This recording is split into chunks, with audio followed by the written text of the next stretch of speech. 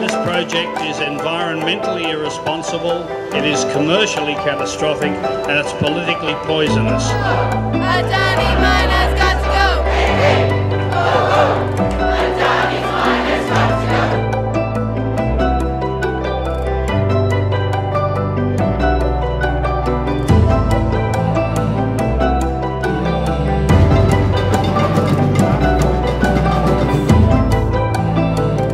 reputable financial institution would have anything to do with it.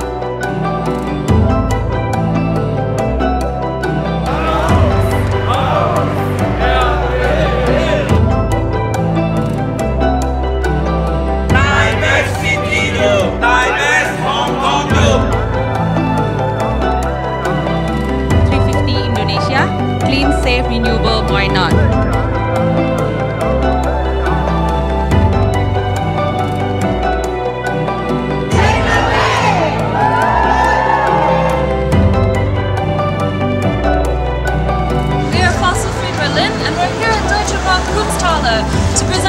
Have Albert Berlin Divestment work.